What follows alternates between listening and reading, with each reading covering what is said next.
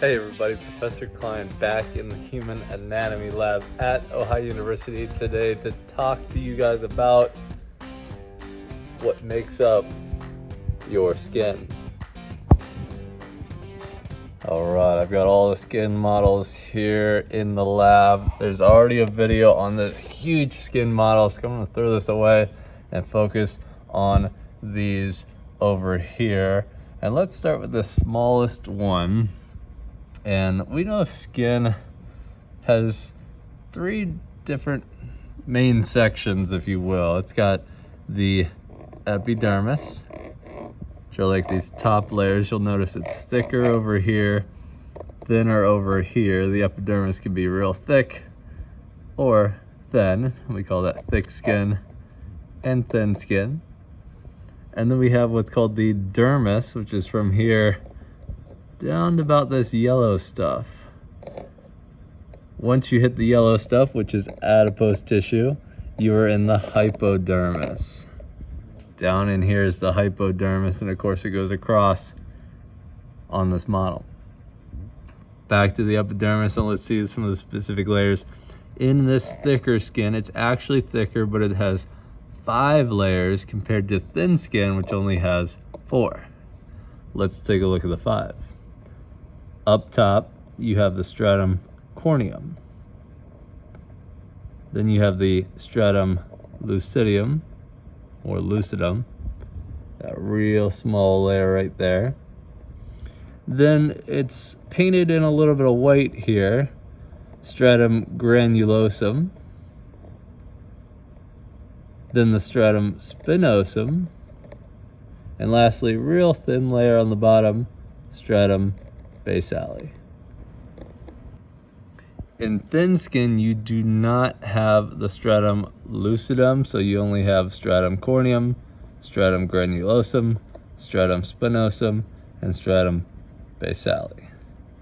The mnemonic I like to use is come, let's get sun burnt to remember the five layers from superficial to deep but then with thin skin, I say you gotta lose the lucidum for thin skin. Disclaimer, don't actually get sunburnt, but it's a great way to remember thick skin and thin skin. Back to the model and we get into the dermis. Now the dermis technically has a papillary layer and a reticular layer. The papillary layer is like this top 10-ish percent.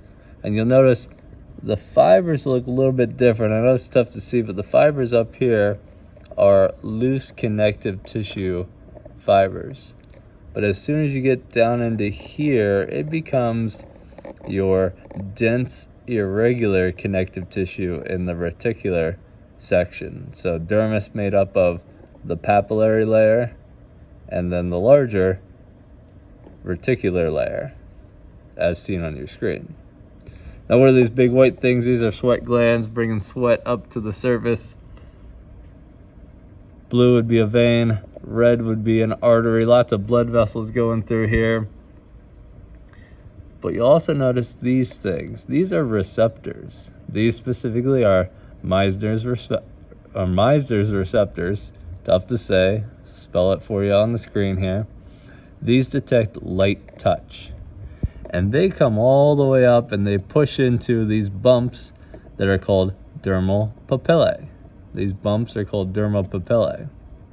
They fit in with the epidermal ridges, which would be these right here. Now I'm pointing at stratum basale, stratum spinosum, but together these little ridges are the epidermal ridges that fit in between the dermal papillae. Anyways, Meissner's corpuscle detects light touch. This would be representing a nerve. Nerve would transmit that light touch eventually to the brain. But we got another receptor way deep down in here. It's green. It kind of looks like an onion.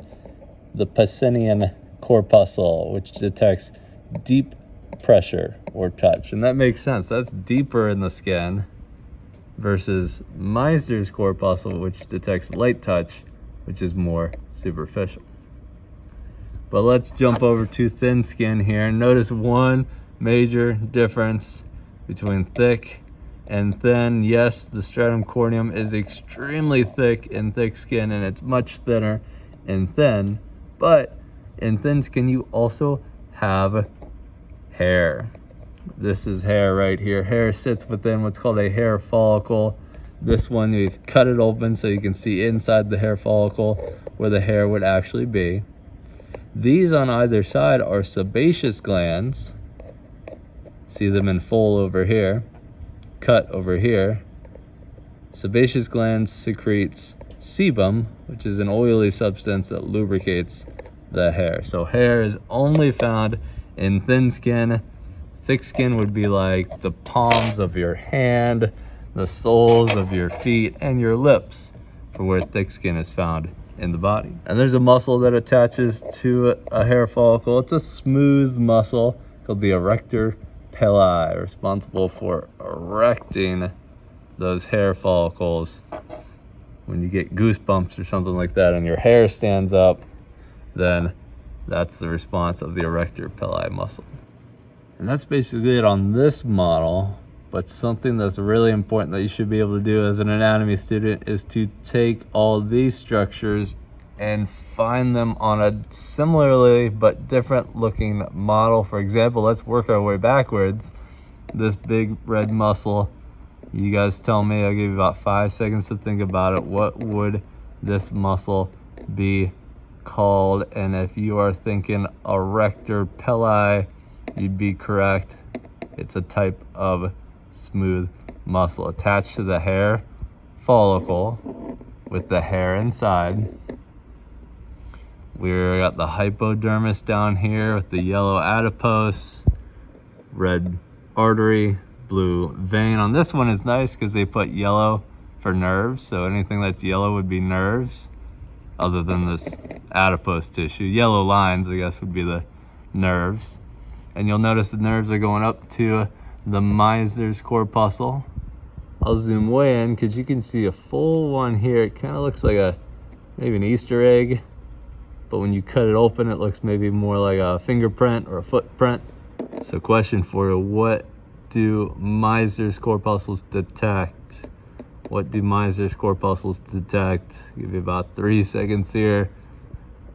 They detect light touch or pressure, light touch or pressure. That's different than Pacinian corpuscles, not green like on this model, but still onion shaped, deeper down in the dermis and even the hypodermis here. These detect deep pressure or touch for the Pacinian corpuscle. But this is a new model, which means we have new receptors on this one that aren't on the other one. Now notice this nerve that comes up and just kind of ends.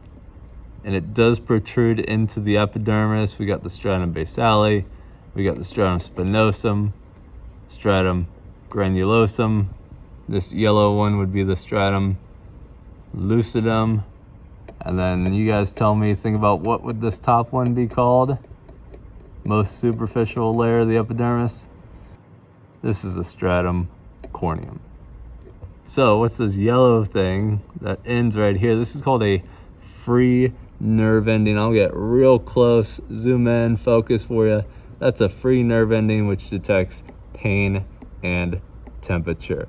That is different than this one over here. You guys see this one over here? It looks like a free nerve ending, but see how there's these bubbles or kind of bulbs at the end? this is what's called a Merkel's disc. A Merkel's disc does go into the epidermis like a free nerve ending, but a Merkel's disc detects light touch or pressure similar to this Meissner's corpuscle. Up top, these bumps. You guys remember the names of these bumps? Lots of quiz questions coming at you here in this video. Anatomy is active. You've got to be active with your learning. So these bumps are called the dermal papillae. Dermal papillae. Remember the dermis has both a papillary layer, this top 10%, and a reticular section as well. Papillary has loose connective tissue. Reticular has dense irregular connective tissue. Now you can really see, see how like these fibers, which would represent the collagen fibers, are traveling in many different directions. I'll throw up a histology slide of dense irregular connective tissue so that you can see what this is representing versus up here, just loose connective tissue. It's kind of a general term for loose connective tissue. But these bumps are the dermal papillae with the epidermal ridges coming down into them. Almost finished, but we got one last model to go through and the glaring difference, other than some of the colors down here, is this darker area of the stratum spinosum. And I want to line these up side by side so you guys can see the darker tone right here versus the lighter tone over here. This is done on purpose and this is representing different skin colors or skin tone. A darker skin tone would be right in here with this darker color and a lighter over here. Now there's so many different shades and tones and here are some popping up on the screen for you of someone's skin color or skin tone, but what within the skin actually determines skin tone? Well, within the stratum basale, we have these specific cells called melanocytes. And here's a picture popping up of, of melanocyte. And melanocytes produce melanin. Now, melanin is skin pigment. So the more melanin somebody has, the darker their skin will appear. Now, genetically, everyone has a kind of a preset amount of melanin that's produced, but things like the sun or tanning beds can artificially or naturally produce or stimulate the production of more melanin. But it's actually these melanocytes that produce melanin. But the awesome thing is every single person has the same amount of melanocytes. It's just how much melanin is produced is different between skin tones. So when you go out into the sun and you get a sunburn or you get tan or your your skin gets darker, that's more melanin being produced. There is somewhat of a protective mechanism for darker skin and more melanin against the sun, but too much sun can cause issues as well. And if you've ever gotten freckles that come out during the sun or the summertime with the sun exposure, freckles are concentrated areas of melanocytes that can produce more melanin. So that's what freckles are. But in 30 seconds, I'm gonna go through these structures because you probably already know them all. You got adipose tissue down here in the hypodermis. You got a sweat gland coming on up. You got a Pacinian corpuscle with a nerve attached to it. Nerves also attached to the Meissner's corpuscle. You got that free nerve ending here. No Merkel's disc on this one, no Merkel's disc, but a free nerve ending right here. You got the arrector pili muscle coming into the hair follicle with a big old hair in there and a sebaceous gland right next to it. Red for artery, blue for vein.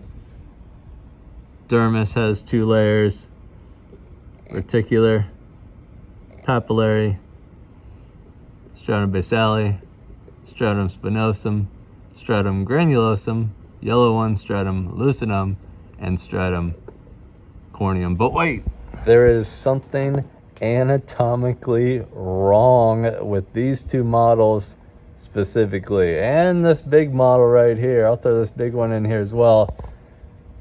Can you guys tell me what is anatomically wrong with these skin models? We might have to call the manufacturers and let them know there's something anatomically wrong. Comment if you know it what is anatomically wrong? Check my next video for the answer to that question. If you already know it, share it, but I'll share the answer and why that's the answer in my next skin video. That's all for this one. Thanks for watching. I'm Professor Klein from the Human Anatomy Lab at Ohio University.